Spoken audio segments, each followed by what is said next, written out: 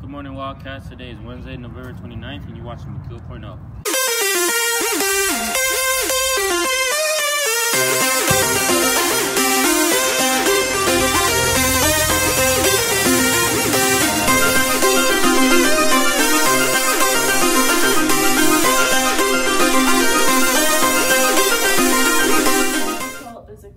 Concert at 6.30 in the auditorium. In December 14th is a band concert at 6.30 in the auditorium.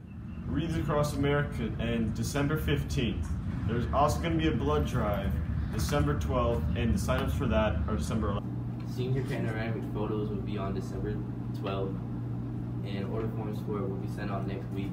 And you have to wear your red McKeel polo shirt, and they'll be at 8:45 in gym. December 12th is Club Pictures. Next week, you have to check with your sponsor to get your pass.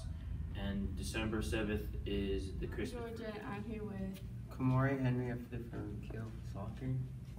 um, what do you do to prepare for the season? Um, I just work on conditioning and uh, my touch because you know it's important in the game. Yeah.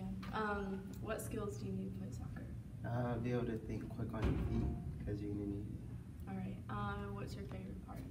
Um, just the excitement and like the rush gives you, you know, the feel and everything. So Okay. Well, thank you. Make sure to purchase your tickets today before and after school for homecoming. The $25 homecoming is this Saturday in the McKeel Gym from 8 to 11 p.m.